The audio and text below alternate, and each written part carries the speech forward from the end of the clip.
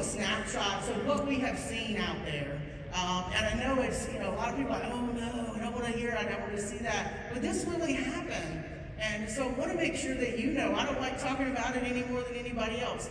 I don't like to get those calls from the teams or emails when I see things that, you know, we think we have an IJ in this facility. I, I hate that too. Know, none, none, of us like to see that. That's a lot of work on everybody. But, you know, really getting to know your residents and providing that quality care, we can combat some of this. Uh, we did have um, an issue with an unlicensed nurse. Um, the facility didn't verify the, the work history of this person, date of birth, security number, nursing license before hiring this person um, as an LPN, and they weren't licensed. So they weren't licensed in our state. They worked, as you see here, for 20 shifts as an LPN, caring for more than 70 residents. They failed to implement their policies to prevent medical neglect. Um, and, and, and, so we cited this at the immediate jeopardy level. Um, we've seen several cases of this over time, um, but we had this as one significant and just, just this year that we wanted to share with you. You know, I talked about um, the diet, and when we were talking yesterday to some of our some of the new companies in Florida, we were talking about some of the trends. Um, I've been sharing this with Debbie Franklin, the quality director here at FHCA, and some of the things that we, we've seen is some very you know, serious cases of residents choking while eating their, their meals. Um, so here's one. I just wanted to show you just a snapshot. Long diet, consistency, um, person choked, resident had a diet order for ground meat, um, and unfortunately the resident was served a whole hamburger patty, and subsequently choking event, airway blockage.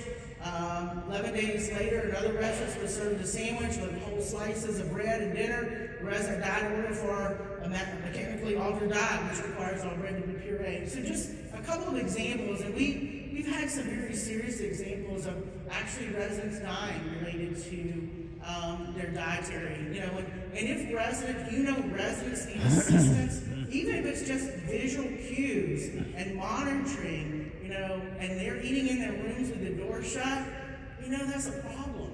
It may not be a problem today, but it might be a problem tomorrow, and that problem tomorrow might result in immediate jeopardy. So make sure that you're paying attention to your to your residents. This goes to that supervision of those residents that need assistance that are dependent with ADLs. And now I think this is my last one. Uh, falls with serious injuries. Um, and as you see here, you know, I know that we talked about sometimes you don't have just one tag, you have multiple tag. Resident, um, physically impaired resident, dependent on staff for care and service, required that two-person assist. Um, and there was one staff member resulting in a fall with fatal injuries. The person fell um, from their bed, and again, this resulted in multiple fractures and injuries. The resident succumbed um, to their death the following day. So we do have some very significant incidents, and, and I mean, nobody wants that, you know, to happen in their facility. You do not want to know that there was something that happened in your facility that was avoidable, and a resident, you know, died because of something in your facility. So I'm going to know from you guys, you know, what we can do, you know, in our state to help this, to help keep our, you know, to, to really, you know, reduce these number of significant survey findings that we have. Than more than happy to sit on any work groups, have any conversations. You know, that's what it's about. You know, we can't do this alone, uh, but what can we do to to help? You know, working with associations, working with the various companies. But what can we do to help combat this and raise that quality of care of our residents? So here's some pointers for you. And hope that you really take these back. Be proactive.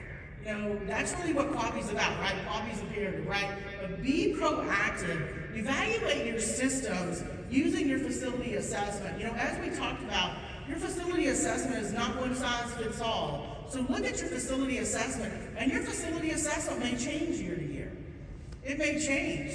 You know, the culture in your facility may be different now than it was, you know, a year ago or two years ago. Everybody's been through a lot in the past couple of years with COVID and, um, and other things going on. So, you know, look at that. You know, look at your facility assessment.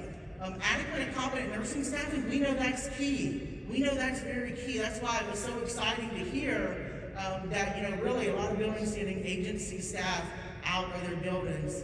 And quality is imperative. That is so critical, you know, to what you do. And I'm surprised it took of the Division of Nursing Homes out of CMS so many years to put quality requirements in our nursing homes.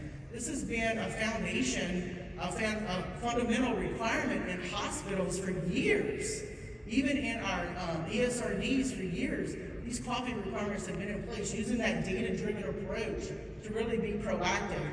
Focus on your high-risk areas. Everybody in here, you're hearing me talk, you know, I've said in conferences too, and uh, when people are talking about things, I said in a state directors meeting in June, and as we were having presentations by other states, I was listening to these other states talk about whether it's policies they have in place, how they do QA, they have to do surveyor training, and I was listening, I was thinking about, how do we do that in Florida? Can we take some of this? So I hope that's what you're doing, is listening as I talk about focusing on those high-risk areas. What are some high-risk areas you have in your facility? Do you take, do you have trach residents? You know, are you a facility that has taken in residents that are diagnosed with Candida auris? You know, those are some of your high-risk areas. You know, maybe residents who are, you know, have diagnosis of diabetes. We know that's a big issue. Um, high volume or problem-prone areas for improvement. You know, think about those areas you have in your facility. Not one size fits all. So you have to look at your individual facility and follow your compliance and ethics program. Follow your compliance and ethics program. That's very important.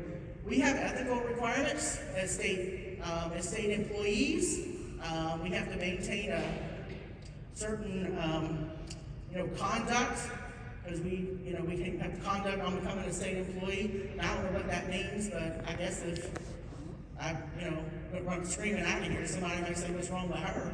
But you know we have to think about that as you know that conduct and, and you as well you know, looking at your compliance and ethics and, and thinking about that, you know, as we as we look at some of the immediate jeopardy tags that we have had, you know, applying these requirements, that being proactive and really looking at your, your programs and your individual facility. I mean, I know a lot of you have, you know, larger corporations and some of your corporations also have facilities outside of the state of Florida.